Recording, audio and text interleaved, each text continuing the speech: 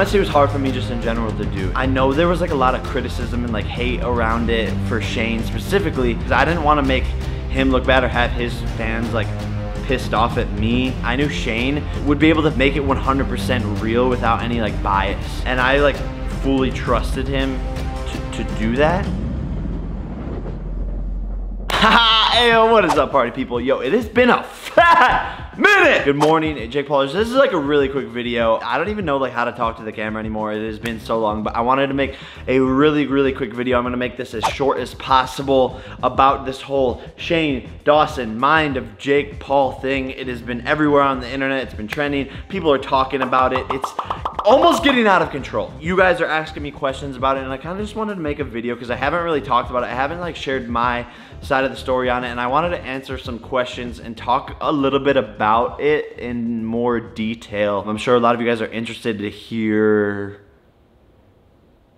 more about it. Yeah. So let's dive right in. Uh, guys, basically like, I, I kind of just want to say this, but the series or like it's it's eight parts, right? I know there was like a lot of criticism and like hate around it for Shane specifically, and like I didn't want to do it at first. Like it was kind of like a, a, talking back and forth process because I didn't want to make him look bad or have his fans like pissed off at me because a lot of people were like, oh, don't give like him a platform and so on and so forth. And I get that and like I understand that. So I knew Shane would be able to position it and like make it 100% real without any like bias. And I like fully trusted him to, to do that. If you're a Shane fan and you didn't want him to do this, I think you'll really respect it and respect the series and everything that we talked about by the end of the series. Whether you're a fan of me or if you hate me or whatever, just like go into it with an open mind and open heart and like just watch the content without any preconceived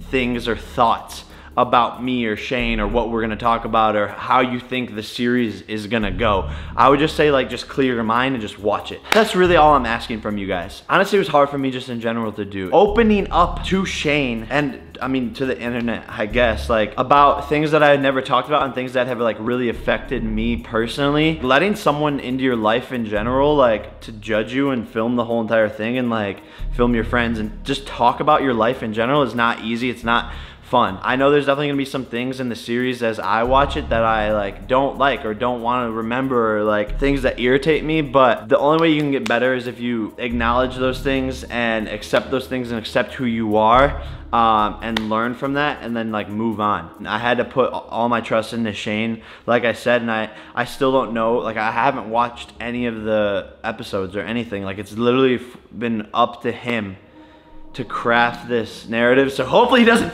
me. Uh, but seriously, Shane, please, bro. You'll be watching this video and it's already out, so yeah, uh, great. But I wanted to answer some of your guys' questions about the series, so I tweeted, follow me on Twitter at Jake Paul. No. I know it's been a while since I've even made a video. You guys have been asking me, where am I? Uh, I was on vacation. There's gonna be a whole like travel vlog coming out in the next day or so that you guys can watch. Like it's it's a dope video. We put um, we put a lot of effort into it at the same time while we were having fun. Another update. Today is a huge day because it is the second drop of my new clothing line, RNBO, Rise and Be Original. Today, the second drop came out. You can go to shoprnbo.com right now to get yourself a t-shirt or a sweatshirt. There's only 500 of each item, guys. We're making this like an ex, ex we're making this a super exclusive uh, clothing line. So go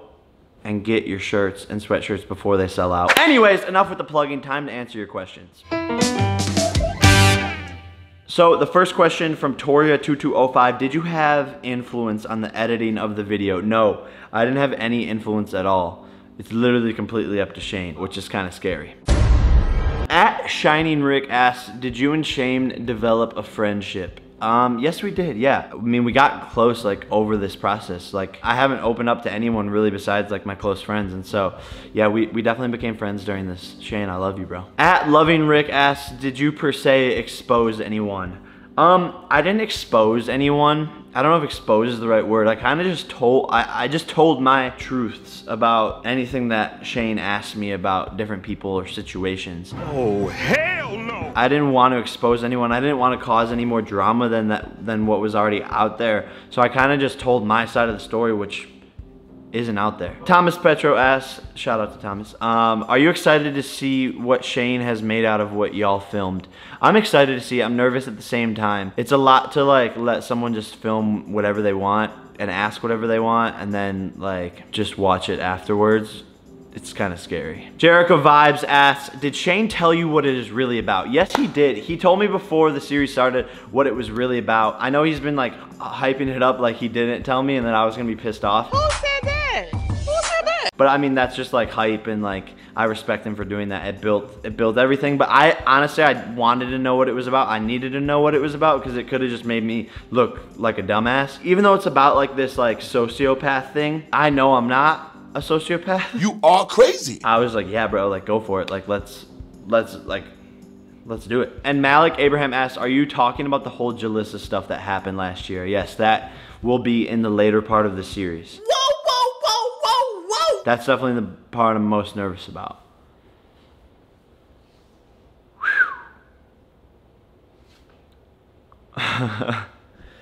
yeah, we talked about it. Guys, that is it. That is that was all the questions that I really wanted to answer um, for you guys. I love you guys. Smash that subscribe button. I'm gonna be back to vlogging soon, and I love you guys. Bye. Oh, baby, you already know it is the hottest merch in the game. We got backpacks, we got t-shirts, and my favorite, the status sweatshirt. Join the Everyday Bro movement, fanjoy.co backslash Jake Paul. Let's go.